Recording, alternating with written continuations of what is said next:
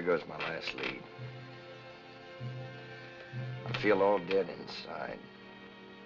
I'm backed up in a dark corner.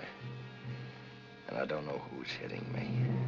The exciting story, The Dark Corner, which gripped the readers of Good Housekeeping magazine, now spins its fascinating plot on the screen.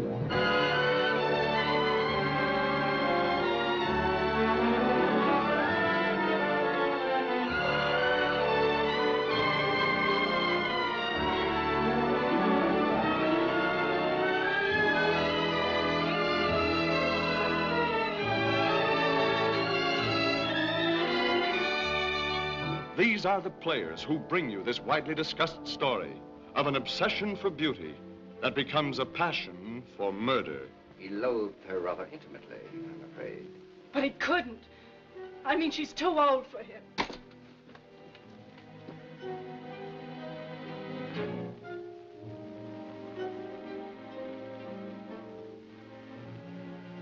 Love is not the exclusive province of adolescence, my dear.